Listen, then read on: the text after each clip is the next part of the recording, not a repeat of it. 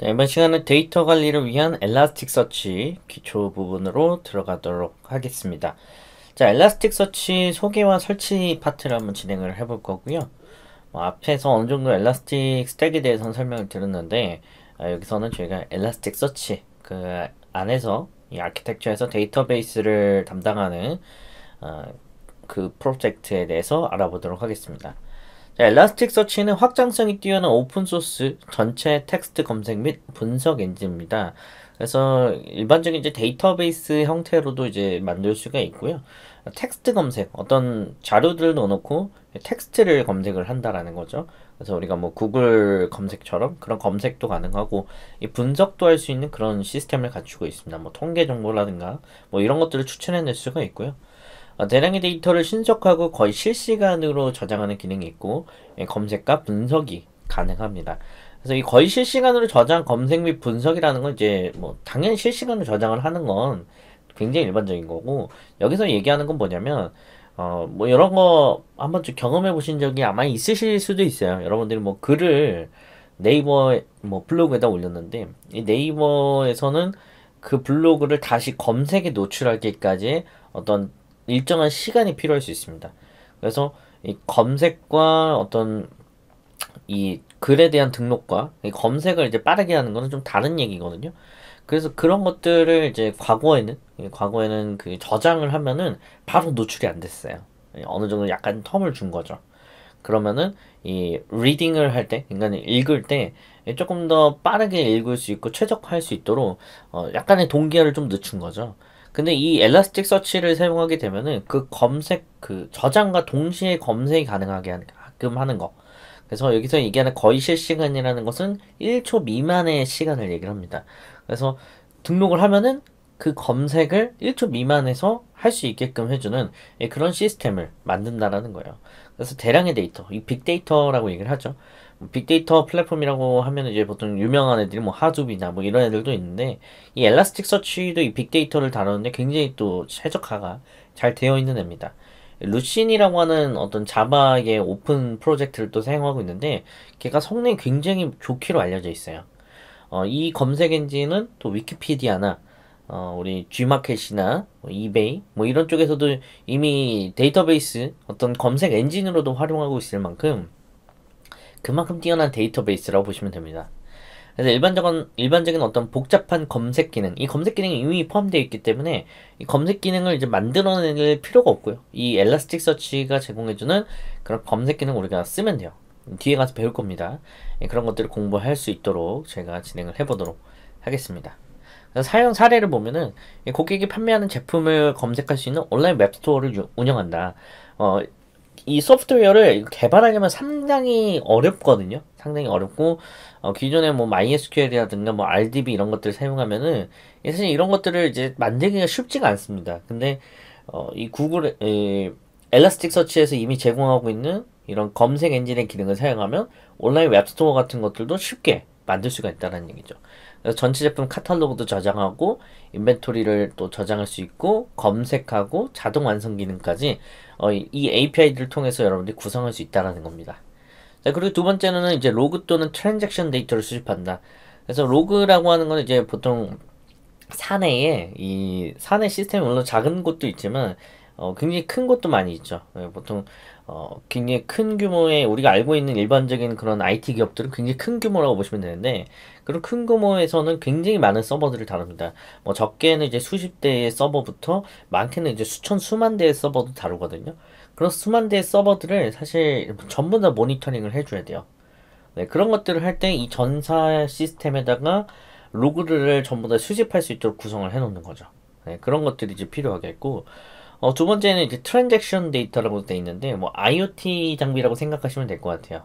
그래서 수많은 어, IoT 장비들 뭐 예를 들면 뭐 기상청에서 어, 운영하는 그런 다양한 장비들 예를 든 거예요. 그런 장비들이 어, 굉장히 그 이 우리나라 지도에서 어, 보면은 지도를 보면은 각지에서 그런 데이터들을 쏘아 올릴 거잖, 거잖아요. 그런 것들을 이제 수집하고 분석하고 조사할 수 있도록 어떤 그런 정보들을 이제 만들 수 있는 그런 데이터 플랫폼이 된다라는 거죠. 그래서 뭐 Logstash라든가 뭐 이런 것들 이제 사용해서 데이터 수집하거나 어떤 API 통해서 데이터 올라오면은 분석을 한다거나 뭐 이런 것들이 가능하게끔 만들 수가 있습니다. 그래서 뭐 Logstash는 이제 로그를 긁어오는 애고 어, 데이터 Elasticsearch는 지금 저희가 공부하고 있는 애인데 데이터를 수집하고 저장하는 애고요. 마지막 Kibana는 이제 대시보드로 시각화, 실시간 시각화거든요. 그래서 예, 그런 것들을 이제 볼 수 있게끔 해준다라고 보시면 됩니다. 그래서 이 시각화를 통해서 추세나 통계, 요약 정보 또는 예외를 탐지할 수 있는 그런 다양한 기능들을 제공하고 있습니다. 자, 사용 사례 세 번째인데요. 세 번째로는 어, 여기서는 이제 플랫폼이죠. 그래서 뭐 요즘에는 또 투자가 되게 열풍이니까 가격에 정통한 고객이 뭐 그런 어떤 특, 정 전자장치를 구입하는데 관심이 있고 모든 공급업체의 가격 가격이 뭐 얼마 이하로 떨어지면 알림을 받고 싶다라고 하는 어떤 데이터 수집과 뭐 알림 서비스를 함께 운영하는 그런 알림 플랫폼도 운영할 수 있다라는 겁니다. 그래서 여기서는 이제 공급업체의 가격을 긁어내는 것은 어, 별도의 이제 프로그램이 필요하겠죠. 이제 뭐 앞에서 뭐 배웠던 뭐 Python이라든가 뭐 이런 것들을 통해서 Elasticsearch로 밀어 넣은 다음에 어, 이런 것들을 이제 역방향 검색 기능을 사용해서 query랑 일치하면은 고객에게 알림을 전송하는 그런 어, alert이라고 하죠. alert 기능이 존재를 한다라고 보시면 됩니다.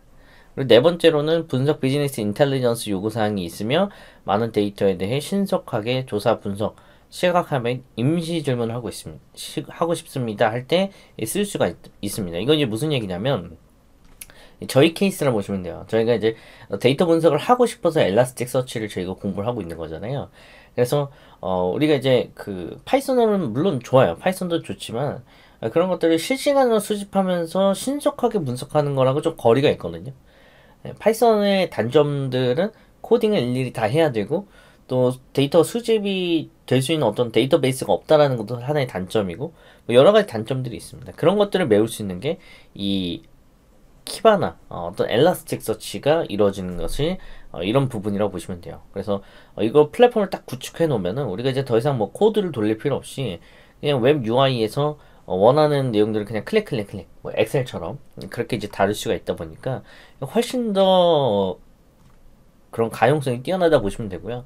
이 데이터 분석은 심지어 이제 수억 건, 수십억 건의 레코드까지도 분석이 가능하기 때문에 굉장히 고성능으로 동작을 한다라고 보시면 되겠습니다. 자, 그래서 이런 것들을 이제 가능하게 해주는 것이 데이터베이스 플랫폼인 어떤 엘라스틱 서치라고 보시면 됩니다. 엘라스틱 서치에는 이제 핵심 개념들이 있는데요. 어, near real time. 아까 얘기했던 거의 실시간에 가까운 플랫폼이다라고 하는 거고요. 어, 문서를 색인할 때부터, 그러니까 문서를 이제 넣을 때부터 어, 검색할 때까지 약간의 대기 시간, 1초 어, 정도를 매우 짧게 그런 것들 가져다 준다라고 보시면 되고 어, Elasticsearch 같이 이제 보통 대규모 데이터베이스 같은 경우는 이제 하나로 이루어지는 게 아니라 보통 서버가 여러 대가 이렇게 결합돼서 움직입니다. 서버가 서버라고 하는 게 이제 컴퓨터입니다. 컴퓨터라는 것이 여러 개가 하나로 결합돼서 어, 어떤 군집화된 형태로 동작을 하는데 이런 군집화를 이제 클러스터라고 얘기를 합니다. 클러스터의 뜻이 군집이란 뜻이에요. 그래서 이렇게 군집되어 있는 이런 하나의 어떤 그룹을 클러스터라고 얘기를 해요. 여기 보면은 어, 하나 이상의 노드, 서버의 모음이다 이렇게 써 있죠. 그래서 이렇게 이제 보통 결합해서 이제 사용을 하도록 되어 있고요. 이 노드라는 개념은 여기서 이제 한 개, 하나의 하나의 요소를 얘기를 합니다. 그래서 여기에 이제 참여하는, 클러스터에 참여하는 단일 서버를 노드라고 부릅니다. 노드. 그리고 이제 마지막 색인이라는 어, 개념이 있는데, 이 색인이라는 개념은 혹시 RDB를 공부하신 분들은 이걸 데이터베이스라고 보시면 돼요. 그래서 어, 보통 MySQL이나 이런 것들 이제 만들게 되면은 그 안에 데이터베이스라는 개념을 만들거든요. 그래서 그 서버 안에다가 예, 저희는 Elasticsearch죠. Elasticsearch에다가 데이터베이스를 여러 개 이렇게 구축을 하는 거예요. 예. 일종의 어떤 디렉토리라고 보셔도 되고 어, 어떤 정보를 담는 함이라고 보시면 됩니다. bucket, bucket 같은 건데 여기에다가 이제 그 색인이라고 하는 이름이에요. 얘네가 인덱스. 그래서 이 인덱스에다가는 어, 네가 뭐 뉴스에 관련된 자료를 담고 싶다. 그럼 뉴스에 관련된 자료를 여기 담는 거고, 어, 뭐 제품에 관련된 정보를 담고 싶다. 그러면 이제 product라고 하는 인덱스를 만들고 여기다 이제 데이터를 담는 거죠. 그런 것도 인덱스라고 얘기를 합니다. 그래서 어, 다소 유사한 특징을 갖는 문서의 컬렉션이다. 그래서 어떤 하나의 bucket을 가지고 어, 그런 데이터들을 저장하는 그런 어떤 장소라고 보시면 될 것 같아요. 그래서 요거 이제 하나 이, 이런 애들이 이제 하나로 뭉쳐져서 이런 서비스들을 제공해 주는 거죠. 서비스. 네, 그렇게 이해하시면 되겠습니다. 어, 이제 타입이라는 개념도 나오는데 이 타입은 이제 모르셔도 되고요. 이 데이터베이스 안에는 이제 document라는 애가 들어가요. 예. 이건 이제 왜 모르셔도 되냐면 얘는 없어졌어요. 예, 없어짐. 네, 어, 기능이 뭐 안 좋았다라기보다는 이 기능을 사람들이 거의 안 쓰다 보니까 네, 이후 버전에서는 타입 전체 개념이 제거됩니다. 라고 나와 있죠. 그래서 원래는 이제 그 인덱스라고 하는 개념 밑에 타입이라는 애가 있었거든요. 그게 없어지고 바로 이제 document로 이렇게 넘어갔습니다. 그래서 이 인덱스에는 document를 이제 여러 개 저장할 수 있게 되었고요. 예, 원래 이 중간에 타입이라는 애가 있었다라는 거예요. 이제 모르셔도 됩니다. 네, 그래서 과거에 있는 애들은 그 옛날 버전은 뭐 필요할 수 있는데 현재 이제 최신 버전에서는 빠졌으니까 저희는 뭐 최신 버전 기준으로 이야기를 하도록 하겠습니다. 그래서 document가 이렇게 있다라고 보시면 되고 이 document는 이제 하나의 어떤 정보라고 보시면 돼요. 뭐 사람으로 따지면은 어, 이름, 최일선, 네, 나이, 불명 뭐 이런 식으로 네, 이런 식의 정보가 있으면은 이런 것들을 이제 문서를 이렇게 만든 거죠. 이게 이제 키와 value라는 어, 앞에 여러분 Python 공부해 보셨을 건데 dictionary, JSON과 같이 어떤 키와 value로 된 쌍이거든요. 그래서 이런 식으로 이제 문서를 쭉 쓴 거예요. 이게 이제 하나의 document고 이 document가 요 하나에 대한 정보라고 보시면 됩니다. 네. 그래서 이 인덱스 안에는 다 어, 이런 이제 도, 이런 유사한 요런 형식의 document를 어, 상당히 많이 넣을 수 있는 거죠. 네. 그런 정보를 어, 이 인덱스가 이 document를 포함하고 있다고 보시면 되겠습니다. 그래서 문서는 색인할 수 있는 생성하는 경, 기본 정보 단위다. 이게 기본 정보 단위라고 보시면 되고요. 예를 들어서 단일 고객에 대한 문서, 이 문서죠. 단, 어, 단일 제품에 대한 다른 문서 및 단일 주문에 대한 문서를 보유하고 있다. 그래서 제이슨 데이터를 보유한다고 보시면 돼요. 우리가 이제 그 파이썬에서는 딕셔너리라고 보시면 됩니다. 그래서 이거 하나가 이런 정보들을 각각 담고 있고 뭐 그 다음 거는 또 다른 사람에 대한 정보 가지고 있겠죠. 이건 최일선에 대한 정보니까 또 세 번째 세 번째 도큐먼트는 또 다른 사람 거. 네 번째 document는 또 다른 사람 거에 대한 document를 각각각 포함하고 있고 얘는 이제 앞에서 설명을 드렸을런지 모르겠는데 이게 REST API 기반입니다. 얘네도 그래서 REST API 기반이기 때문에 웹 요청으로 통신이 가능하고요. 웹 요청 네, 으로 통신이 가능하고 웹 요청을 이렇게 때리면은 어, 정보를 가지고 올 수 있도록 돼 있어요. 네, 그래서 뭐 서치 같은 명령어들이 있거든요. 이런 명령들을 사용하시면 이 document 안에서 이제 검색을 수행할 수가 있습니다. 이건 이제 뒤에 가서 공부를 할 거고요. 어쨌든 이런 이제 기능을 제공해주는 RESTful API를 어, 기능을 제공하니까 저희가 뒤에 가서 또 활용해 보도록 하겠습니다. 자, 엘라스틱 소개를 이제 어느 정도 마쳤으니까 엘라스틱 서치를 한번 다운로드 받고 설치하는 과정을 좀 진행을 해보도록 하겠습니다. 간단하게 여기 나와 있는데요. 저희가는 어, JDK를 먼저 설치를 할 거고요. 그리고 Elasticsearch랑 Kibana를 다운로드하고 압축을 해제할 겁니다. 그리고 어, 이 각각의 해제된 디렉토리에 가보면은 어, 엘, bin 디렉토리라고 있습니다. bin 디렉토리에 가면은 Elasticsearch batch 파일 예, batch 파일이라는 게 윈도우 스크립트라고 보시면 돼요. 일종의 실행 파일입니다. 그리고 Kibana batch 파일 이 두 가지 파일을 실행하면은 어, 쉽게 설치가 가능합니다. 얘네가 자바 기반이라서 어, JDK라고 하는 라이브러리가 별도로 필요하니까요. 네, 저랑 같이 한번 실습을 진행해 보시면 되겠습니다. 자, 제가 드린 것 실습 파일들을 보면은 이런 식으로 이제 내용이 담겨 있을 겁니다. 혹시 실습 파일을 못, 못 찾으시면 저한테 메일을 주세요. 어, 제 메일은 isc0304 골뱅이 네이버닷컴입니다. 혹시 어, 못 찾으신 분들은 어, 저한테 메일을 주시거나 단, 그 관련된 질문 페이지가 있을 거예요. 거기 문의를 주시면은 어, 제가 전달을 드릴 수 있도록 그렇게 하겠습니다. 여기 보면 이제 그 제가 이 Elasticsearch를 이제 공부할 때 여러분 참고할 만한 어, 링크 하나 첨부 드렸고요. 네, 링크 있으니까 어, 링크 확인해 보시고 URL로 접속을 하면 됩니다. 그리고 이제 그 실습 파일들 자바랑 Kibana Elasticsearch 이런 거 담아 놨으니까 여러분 요걸 이제 어, 사용하시면 되겠습니다. 자 여기 이제 보면은 어, 자바 setup 8이라고 있습니다. 이게 8버전 자바 JDK라고 보시면 되고요. 요거 이제 설치하시면 돼요. 윈도우 저 이거 이 설치는 원래 일반적으로 리눅스에서 많이 설치를 하는데 어, 여러분들이 그 리눅스가 익숙치 않을 수 있어서 제가 윈도우에서 진행을 할 겁니다. 그래서 이거 더블 클릭하고 네, 설치 진행하시면 돼요. 얘 눌러가지고 설치를 진행하시면 설치가 진행이 될 거고요. 저는 이미 설치를 해놔가지고 네, 네 설차, 어, 설치를 해놔가지고 뭐 크게 뭐 문제는 없을 겁니다. 네, 저는 설치를 뭐 안 할 거고요. 뭐 설치를 한번 눌러보면은 어떻게 되는지 한번 볼게요. 아, 네. 설치가 또 진행되네요. 이런 식으로 이제 설치가 어, 또 되고 있는 모습을 볼 수가 있습니다. 여러분들은 이제 아마 설치가 안 되어 계실 거니까 여러분 설치를 반드시 해주시고요. 네, 저는 어, 이미 설치된 환경이라서 뭐 빨리 진행이 될 수도 있을 것 같습니다. 네, 그래서 저, 제가 이제 미리 테스트 해보느라 저는 미리 설치가 됐다라는 점 네, 양해를 부탁을 드립니다. 시간이 좀 오래 걸리실 수 있어요. 이게 원래 좀 무겁습니다. 다운, 어, 설치하는데 오래 걸려요. 설치가 완료되면 이렇게 완료 창이 뜨게 됩니다. 자 그리고 이제 두 번째 어, 엘라스틱 서치는 키바나가 있는데 얘네를 압축을 해제해 주셔야 됩니다. 그래서 뭐 zip 파일로 압축이 돼 있으니까요. 여러분도 뭐 편하신 경로에 하시면 되는데 예, 가능하면 영문이 없는 곳, 영문 이 한글이 없는 곳 보시면 제, 제 디렉토리 한글이 있잖아요. 그래서 여러분들 가능하면 한글이 없는 곳에 해주시면 어, 좋겠습니다.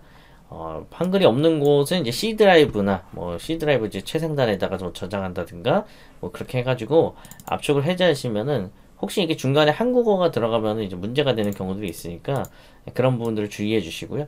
저는 이제 바탕화면에다가 이렇게 압축을 풀어놨습니다. 바탕화면에 바탕화면은 이제 그 우리가 봤을 때는 이렇게 바탕화면이라고 되어 있는데 어, 실제로 보면은 이름이 desktop이라고 영어로 되어 있거든요. 그래서 바탕화면을 풀어주셔도 뭐 큰 문제는 없을 것 같아요. 네. 혹시 여기가 이 사용자 이름이 한글이면 또 문제가 되거든요. 그러니까는 혹시 내가 사용자 이름이 한글이다 하시는 분들은 C 드라이브 밑에다가 네, C 드라이브 바로 밑에다가 디렉토리 하나 만들고 거기다가 이렇게 압축을 해제해 주세요. 자, 그래서 어, Elasticsearch 아, 아, Kibana 먼저 풀었고요. Elasticsearch도 제가 풀어놓은 게 있을 겁니다.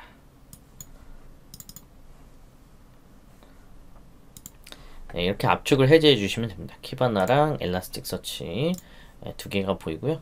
아, 두 개 각각에 이제 들어가 보면 들어가 보면 bin 디렉토리가 있을 겁니다. bin bin이라고 하는 바이너리가 들어있는 디렉토리고요. 네, 클릭을 하시면은 네, 여기는 이제 Elasticsearch batch라고 하는 파일이 있을 거고요. 이 확장자 보기가 설정이 안 돼 있으면 이 batch라고 하는 문자는 안 보일 수 있습니다. 확장자 보기 같은 경우에는 이제 상단에 보기에 파일 확장명 요거를 이제 체크를 어, 해주시면 보이고요. 어, 빼면은 안 보입니다. 빼면 안 보여요.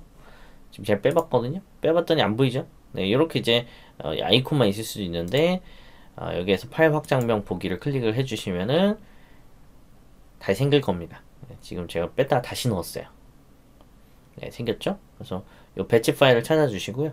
저는 Elasticsearch를 일단 먼저 실행을 할게요 그러면 이제 검은색 콘솔 창이 뜰 건데 어, 얘네가 이제 여기 로그가 이렇게 쭉쭉 나타납니다.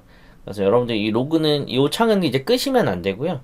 이 창은 끄게 되면 어, 데이터베이스가 죽어요. 그래서 Elasticsearch는 이렇게 켜두시면 됩니다. 네, 켜두시면 되고 Kibana도 설치를 할게요. 원래 이제 Elasticsearch만 설치를 해야 되는데 저희가 이제 Kibana도 설치를 좀 진행을 합니다.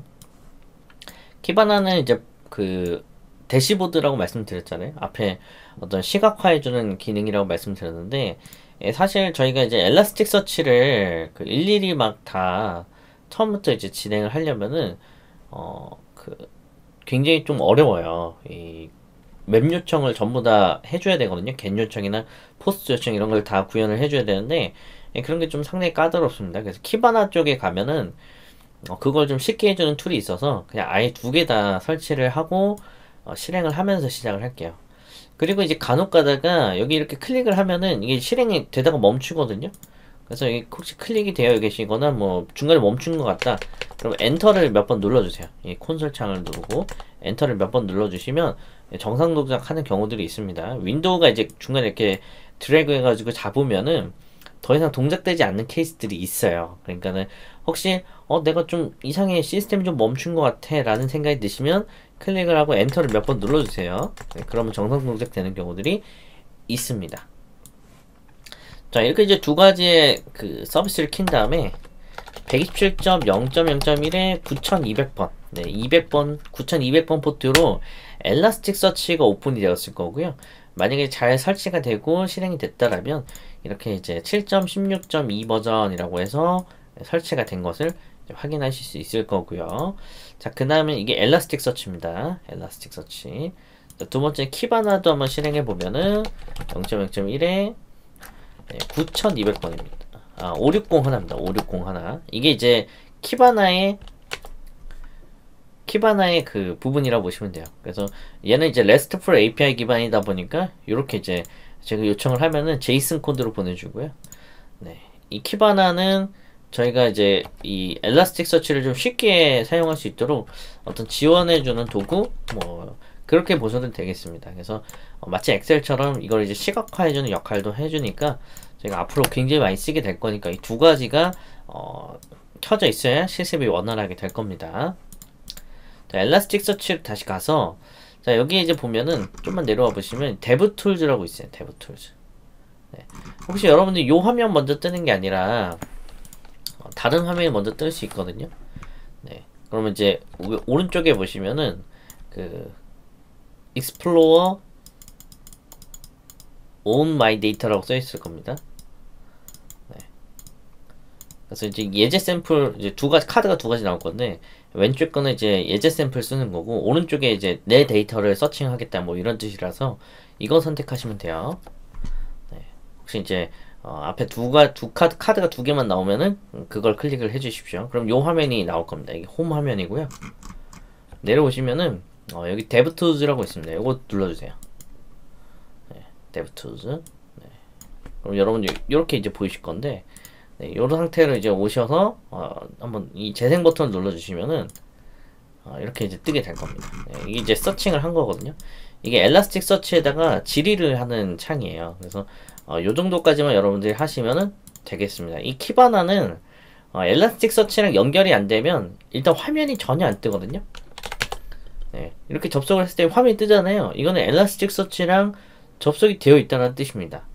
네, 뭐 자세한 그 사용 방법은 나중에 이제 공부를 할 거고요. 어찌됐든 이 화면이 나온 것 자체가 이미 여러분들이 엘라스틱 서치랑 키바나가 잘 구성이 되어 있다라는 의미니까 어, 요거 두 가지 이렇게 어, 설치를 해놓고 그 뒤에 이제 실습들이나 이런 것들을 잘 따라가시면 어, 될 것 같습니다. 자, 저희는 이번 시간은 여기까지 해서 어, 좀 마무리 짓도록 하고요. 어, 다음 시간에 이어서 어, 계속해서 여러분들이 어, 이 실습을 좀 진행을 해보시면 되겠습니다. 감사합니다.